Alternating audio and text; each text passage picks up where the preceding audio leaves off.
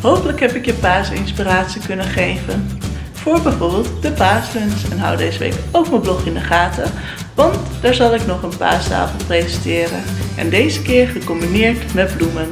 En...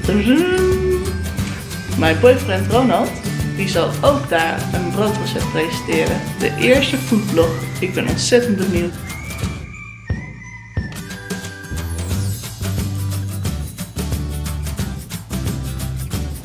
Bedankt voor het kijken en vind je het filmpje leuk? Duimpje omhoog en vergeet je niet te abonneren op mijn kanaal. Tot de volgende keer. Doei doei!